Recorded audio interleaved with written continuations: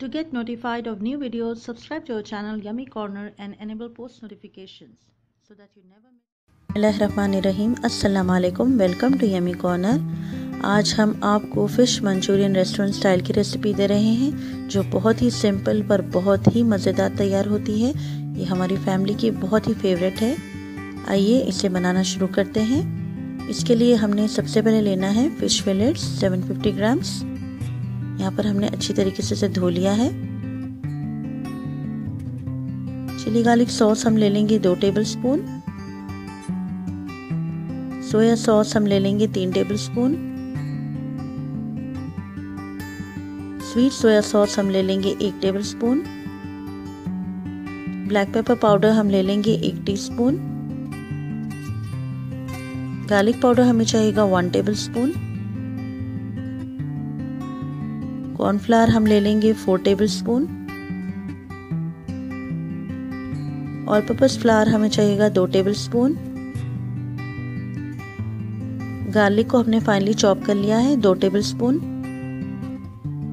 हरी मिर्चों को भी हमने बारीक चॉप कर लिया है, एक टेबल स्पून हरी वाली प्याज हम ले लेंगे फोर टेबल स्पून नमक हम ले लेंगे हसब जायका. सबसे पहले हमने फ़िश फिलेट्स को अच्छी तरीके से साफ़ कर लेना है। अब हम इसके पीसेस करेंगे। हमने इसे एक से डेढ़ इंच तक के पीसेस बनाए हैं। आप चाहे तो इसे छोटा और भी कर सकते हैं। ये आपकी अपनी चॉइस है। ये बहुत ही मज़ेदार तैयार होती है। आप यही रेसिपी चिकन से भी फॉलो कर सकते हैं। पर आप देख सकते हैं, हमने बहुत अच्छी तरीके से इसे कट कर लिया है। इसे हम ड्राई भी कर लेंगे। फ़िश में पानी बिल्कुल भी नहीं होना चाहिए, वरना ये टूट जाएगी। यहाँ पर हमने अच्छी तरीके से पेपर टवल से इसे साफ़ कर लिया है ड्राई कर लिया है। यहीं पर हम इसमें मसाले शामिल करेंगे जो ज़्यादा नहीं है। गार्लिक पाउडर हमने इसमें शामिल कर लिया है और ब्लैक पेपर पाउडर भी हमने इसमें शामिल कर लिया है। अच्छी तरीके से हम इसे मिक्स करेंगे। इसे फाइव मिनट्स तक के लिए हम मैरिनेट होने रख देंगे। नमक भी हमने इसमें शामिल कर लिया है।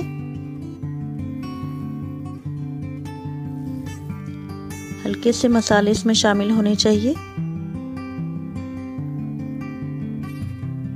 यहीं पर हम इसमें शामिल करेंगे कॉर्नफ्लावर और मैदा भी हम इसमें शामिल कर लेंगे। अच्छी तरीके से हम इसे मिक्स कर लेंगे।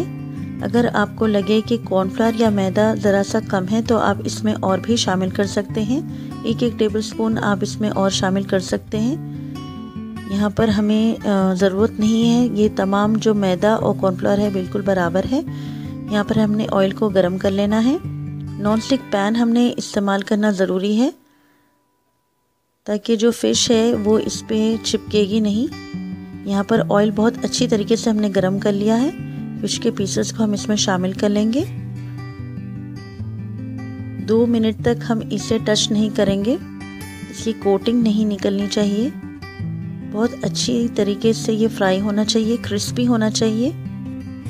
जैसा ही ये कलर चेंज करे, हम इसे हल्के से पलट देंगे।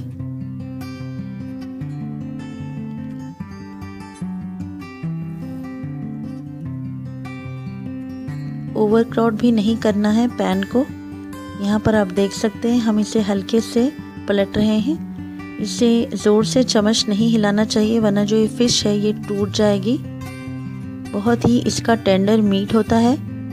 अच्छी तरीके से हम इसे फ्राई करेंगे। क्रिस्पी होने तक हम इसे फ्राई करेंगे। अगर आप चाहते हैं कि आपकी फ़िश जो है और ज़्यादा क्रिस्पी हो तो आप इसे एक बार फिर से फ्राई करेंगे। डबल फ्राई आप करेंगे, अगर ज़्यादा आपको क्रिस्प होना चाहिए। यहाँ पर आप देख सकते हैं ये जो फ़िश है, ये अच्छी तरीके से क्रिस्पी हो चुकी है, हल्का सा गोल्डन कलर इसमें आ चुका है। हम इसे निकाल लेंगे।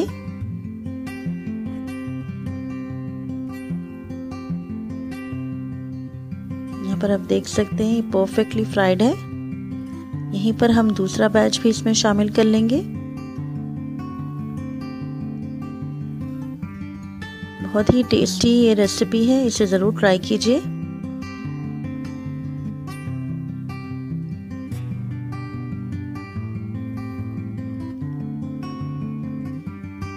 जैसा ही कलर चेंज करे, आप इसे पलट सकते हैं।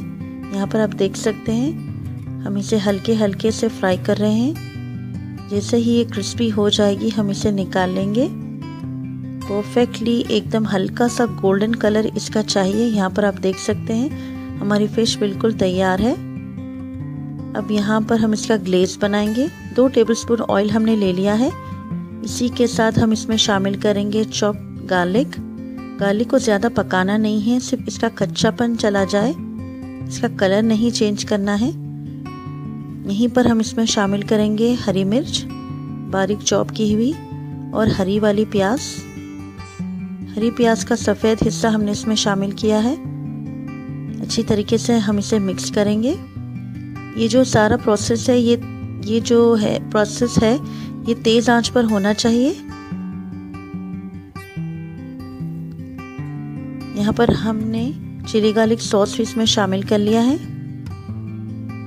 इसी के साथ हम इसमें शामिल करेंगे स्वीट सोया सॉस और नॉर्मल वाला सोया सॉस अच्छी तरीके से हम इसे मिक्स करेंगे। यहीं पर हम इसमें शामिल करेंगे ब्लैक पेपर पाउडर नमक हम इसमें शामिल नहीं करेंगे, क्योंकि सॉसेस में ऑलरेडी काफ़ी नमक होता है। एक ग्लेस हमें इसका चाहिए। यहाँ पर हम एक स्लरी भी बनाएँगे, यानी एक घोल बनाएँगे। दो टेबल स्पून हमने कॉर्नफ्लावर लिया है, चार टेबल स्पून पानी में अच्छी तरीके से इसे मिक्स किया है। एक कोटिंग इसकी बहुत बेहतर होती है। एक उबाल आने के बाद हम इसमें फ़िश ऐड करेंगे। उबाल इसमें आ चुका है स्लरी में। अब यहीं पर हम फ़िश ऐड कर लेते हैं। अच्छी तरीके से हम इसे मिक्स करेंगे और जैसा ही ये मिक्स हो जाए, हम फ्लेम ऑफ़ कर देंगे। ताकि जो ये क्रिस्पीनेस है फ़िश की, ये सॉगी ना हो जाए, ये सॉफ्ट ना हो जाए। यहाँ पर अच्छी तरीके से मिक्स करेंगे। फ्लेम हमने बंद कर दिया है। बहुत ही टेस्टी मंचूरियन तैयार है।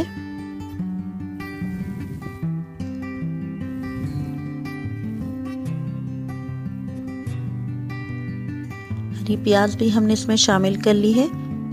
बहुत ही लजीज, बहुत ही मज़ेदार जूसी सा हमारा फ़िश मंचूरियन रेडी है। इसे हम स्पैगेटी के साथ सर्व करेंगे फ्राइड राइस के साथ सर्व करेंगे। उम्मीद है आपको ये रेसिपी बहुत पसंद आएगी। इस रेसिपी को ज़रूर ट्राई कीजिए लाइक कीजिए सब्सक्राइब कीजिए।